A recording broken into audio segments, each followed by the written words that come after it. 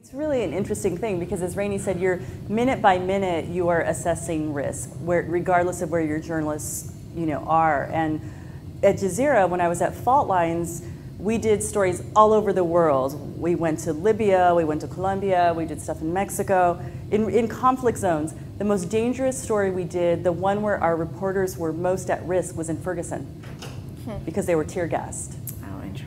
You know, they had masks with them. I mean, we had gear. They had bulletproof vests. They had helmets. We get they get trained for that, by the way. You know, anytime we send a reporter to a hostile environment, they have to go through that training. I had to go through that training.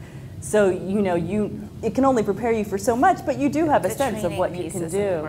Yeah. Um, and that's expensive that training. So that's another thing it's to think expensive. about. Yeah. Um, you know, but those are all things that to realize that you know, journalism organizations do try to do things to really minimize risk. Sometimes the risk comes where you least expect it, but you should be prepared. And we were prepared in Ferguson. But it was just kind of astounding to me that at the end of the day, that really was where the, the physically they were most in mm. danger. It's amazing.